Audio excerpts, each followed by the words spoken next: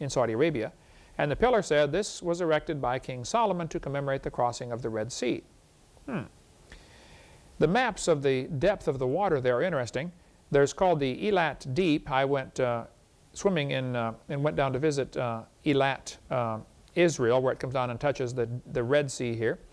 Um, it's about 5,000 feet deep in here in the, in the Gulf of Aqaba, except for this one spot where it's only 900 feet deep. There's a natural underwater land bridge. It's about 8 miles wide and only 900 feet deep. Um, a friend of mine, Aaron, went over there and said, look, folks, this is absolutely correct. Uh, the Bath Israeli bathymetric chart uh, says this is only 900 feet deep here. And some people are criticizing Ron Wyatt, saying it's not true. There's not a bridge there. Yes, there is an underwater land bridge. So Ron and his sons went out there scuba diving out as deep as they could go, 150 feet or so, and found chariot wheels with no chariots attached and chariots with no wheels attached.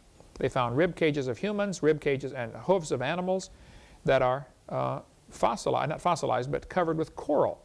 You can go to the museum in Cornersville, Tennessee, south of Nashville, about 50 miles, and I think it's exit 27, and there's a converted gas station right there, which is the Wyatt Museum, and see these things for yourself. See the, the horse hoof all dried up and uh, dehydrated.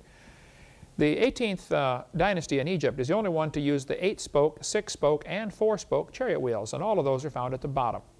On the right side over here, you see a mountain called Jabal al-Lawz, which means mountain of laws, and that is Mount Sinai.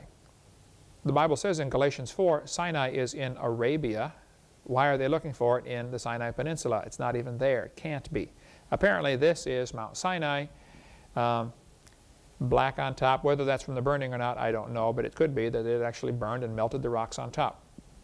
At the bottom of this mountain, there's a, a bunch of rocks with, a, this one has a calf drawn on it. They think probably this is the altar they built with the calf.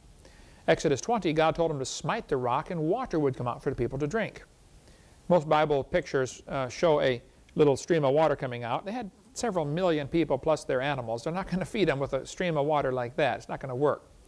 It had to be water gushing out of there. Actually, had to be a river. There's this big boulder you can see here in the background. This is a, as big as a five-story building. It is split right in half, completely in half. And on both sides there are erosion marks. This may be the rock that Moses smote and the water came gushing out of both sides. A river flowed out and watered everybody. Okay, people say, what about Sodom and Gomorrah? Where's that at? Well, the Lord said in Genesis 19 he would rain upon Sodom and Gomorrah brimstone. Brimstone is burning sulfur.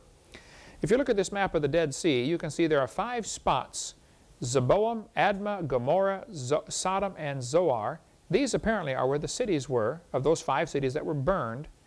Uh, when I was on top of Masada in uh, March of 2002, I went over to Israel.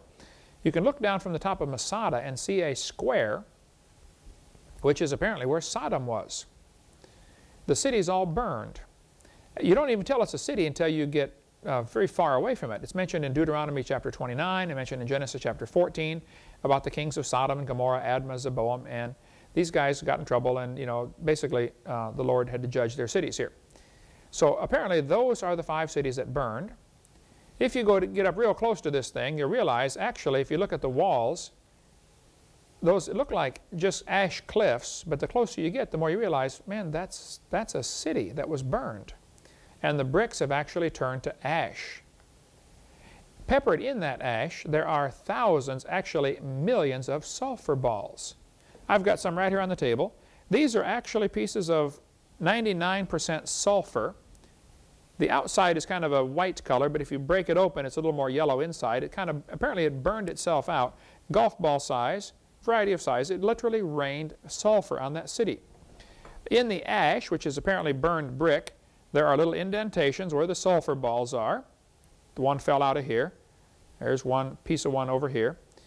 This is a piece of ash from that area, and many folks, including myself, think this is the actual Sodom and Gomorrah, and we have the physical evidence for it. It literally burned the cities to ash. This may be what's called a, a, a ziggurat or something to guard the uh, opening at the city. And Ron Wyatt and Richard Rives spent a lot of time over there and are very convinced, as am I, that this is Sodom and Gomorrah.